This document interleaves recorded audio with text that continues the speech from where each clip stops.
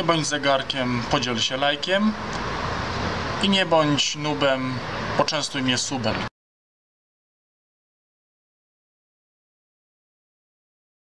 Witam Was bardzo serdecznie. Dzisiaj z księdzem Andrzejem ruszamy w trasę na Turbacz z miejscowości e, Koninki, nie mylić z Koniną, która znajduje się hen za tą górą.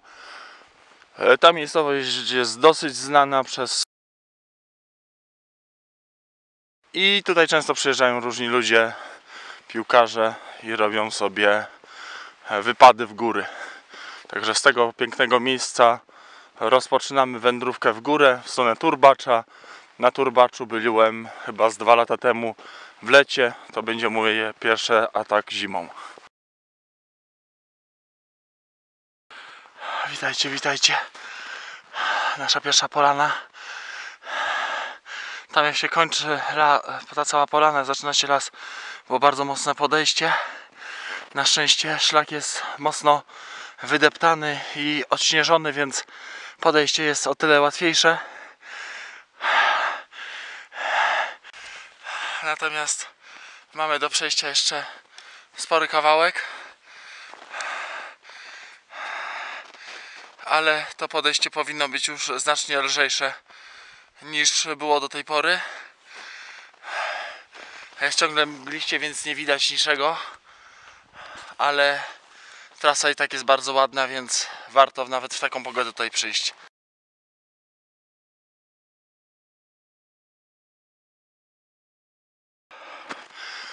Znajdujemy się paręnaście metrów przed czołem Turbacza. 1252 metry nad poziomem morza. Podejście jest cały czas dobre. Ciągle mamy wydeptaną ścieżkę w śniegu, więc nie musimy brnąć po kolana albo po kostkę w śniegu. Natomiast podejście jest mocne. Prezentuję Wam widoki stąd.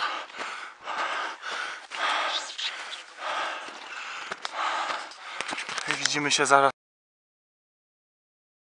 Ostatni kawałek podejścia i za chwilę będzie osiągnięty pierwszy szczyt na naszej dzisiejszej trasie. A więc stało się, proszę Państwa, 1252 metry nad poziomem morza osiągnięte. Przed nami widać schronisko na Turbaczu, położone 30 metrów wyżej niż my jesteśmy obecnie. Tam zmierzamy.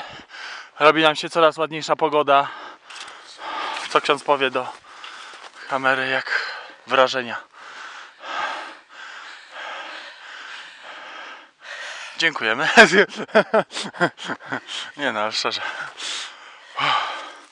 Najpierw trzeba złapać. Później zebrać myśli.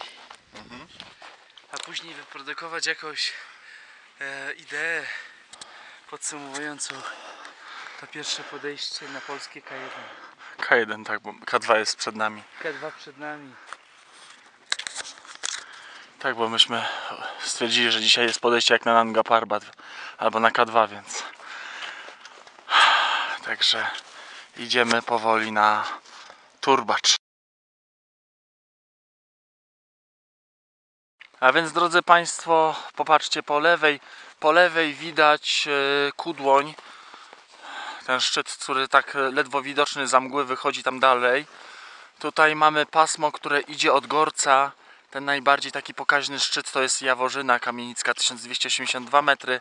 Trochę bardziej po prawej Kiczora 1252 metry. I tutaj przez tą polanę koło tego domku prowadzi szlak czerwony, główny szlak beskidzki, którym podążaliśmy w 2016 roku. Przed nami e, ta rozległa polana, którą tutaj widzimy, to jest e, hala Turbacz. E, I od hali Turbacz no przed nami szczyt Turbacza 1310 metrów nad poziomem morza i nieco po lewej widać e, schronisko pod Turbaczem. A tutaj po prawej e, ołtarz polowy na hali Turbacz, do którego teraz zmierzamy.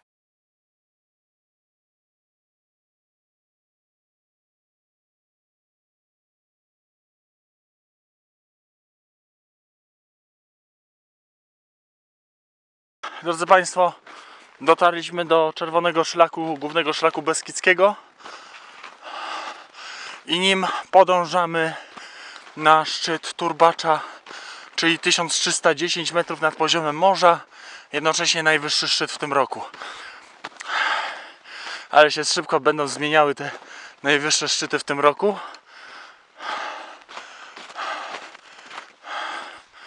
Natomiast e, przed chwilą spotkaliśmy trzech narciarzy, których serdecznie pozdrawiamy z tego podejścia.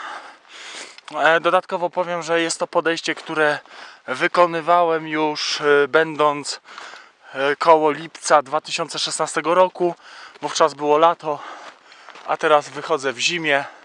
Będzie to moje pierwsze zimowe wejście na turbacz.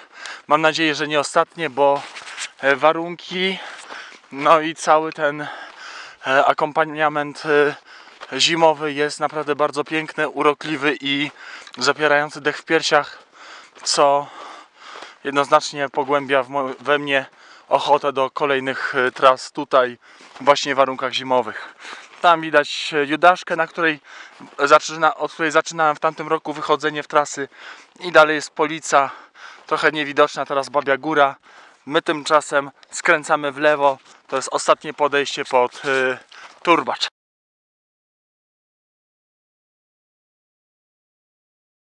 Będziecie Państwo towarzyszyć mi na tych ostatnich metrach przed y, samym szczytem Turbacza. Przypominam, idziemy szlakiem czerwonym, głównym szlakiem beskidzkim, który przebiega przez najważniejsze pasma w Karpatach. Pomija kilka pasm, ale przez większe szczyty, tak jak teraz, tak jak w Beskidzie Żywieckim, przechodzi i za chwilę będziemy na szczycie, najwyższym szczycie w Gorcach 1310 metrów nad poziomem morza. W dolinkach jak widzicie mgła zalegająca. Widać tylko te szczyty, które są powyżej 1150 parę kroków przed samym szczytem. Bardzo mocne podejście było pod czoło turbacza, ale to już jest nieistotne. To już jest nieważne. Za chwilę cel naszej wyprawy zostanie osiągnięty. Już go widzicie.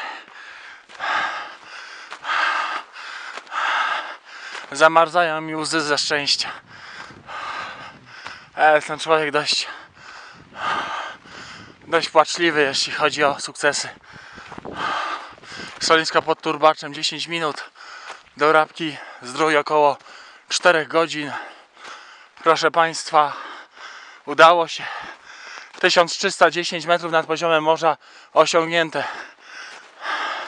Czy Państwo zdajecie sobie sprawę, że to jest moje pierwsze wyjście zimowe na turbacz? I to wszystko staje się faktem. Za chwilę będziemy w schronisku.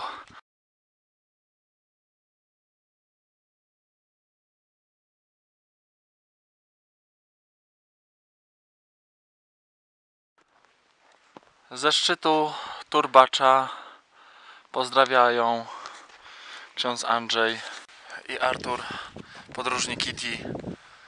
Pozdrawiam Kubę Skoczka, Jakuba Wolskiego i Mateusza Rokitę. Tutaj z tego pięknego szczytu Turbacza 1310 metrów nad poziomem morza. Cokolwiek te pozdrowienia dla Was znaczą, y, ślemy je do Was. Okej, Szczerze i serdecznie. Tak jest, z turbacza. z Turba. Minęło 3-4 minuty i jesteśmy już przy schronisku na Turbaczu. Za chwilę spożyjemy coś na ciepło. Chwilę odpoczniemy i trzeba powoli ruszać na dół.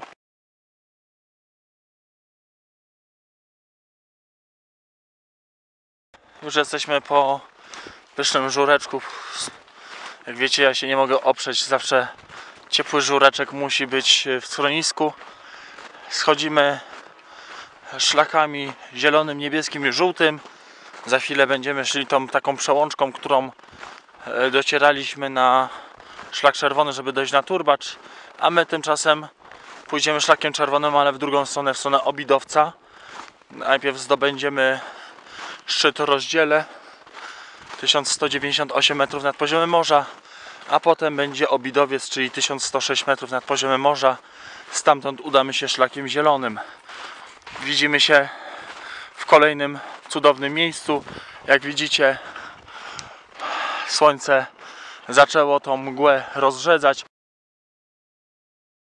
ale tylko na szczycie, ponieważ reszta panoramy zasłonięta, zasnuta mgłą. Po prawej stronie szczyt rozdziela 1198 metrów nad poziomem morza. Ten szczyt był bardzo dobrze widoczny z turbacza. Zdjęcie pojawi się teraz. Jak widzicie, było o wiele ładniej. Teraz jest bardzo mgliście, ta mgła przelatuje niemal koło nas, także można ją złapać i zjeść niemal. Także pogoda jest bardzo zmienna. Jeszcze jak schodziliśmy z, ze schroniska Turbacz, widzieliśmy i halę Turbacz i tak dalej. Jak doszliśmy do samej hali Turbacz, to już było tak mgliście, że nie było nic widać na odległość wyciągniętej ręki, także trzeba uważać, bo, bo przy takich zmianach pogody można łatwo się zgubić. Szczyt Soliska położony jest na 1183 metrach nad poziomem morza. Szczyt wznosi się pomiędzy szczytami rozdziela i średniego wierchu. I jest to grzbiet, który wychodzi z rozdziela, ponieważ rozdziele jest zwornikiem. Nazwa szczytu jest pochodzenia pasterskiego. Dawniej solniskami nazywano miejsca, w których wykładano sól dla wypasanego bydła.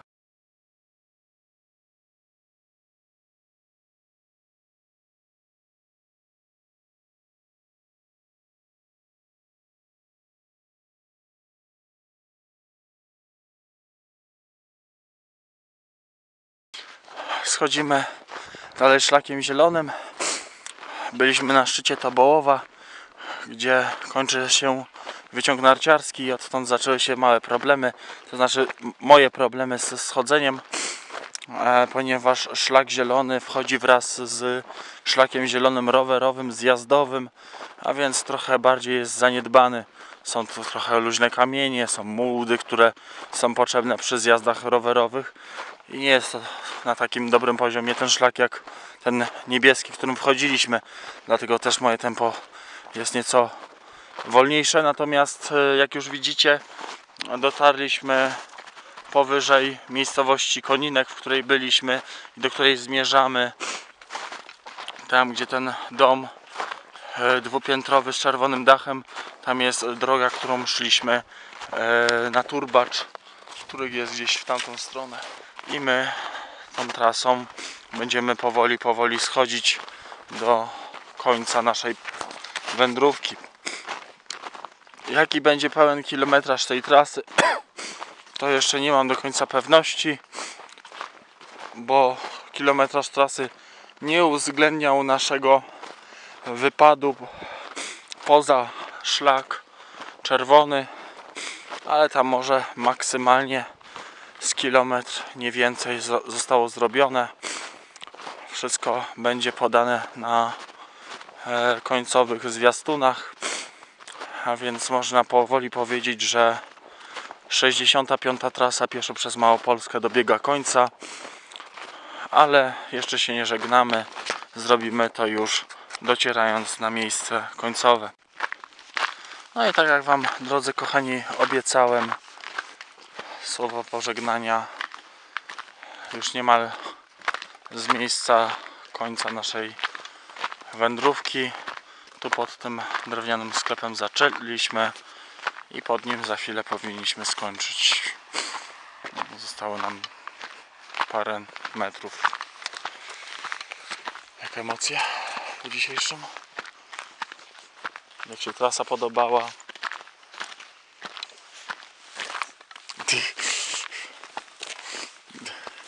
Bez... Tak.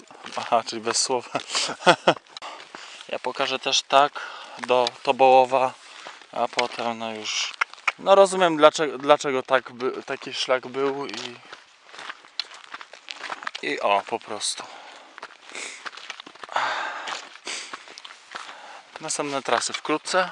Jesteśmy w tej pięknej dolince, w której byliśmy. Myślę, że około 17-18 km zrobione jest dzisiaj. Zbliżamy się powoli do tej granicy, którą sobie postawiłem, czyli 1000 km w ciągu roku. Powoli się zbliżamy, bo jesteśmy przed, przed setką pierwszą, więc tak bardzo powoli się zbliżamy. Ale zbliżamy się.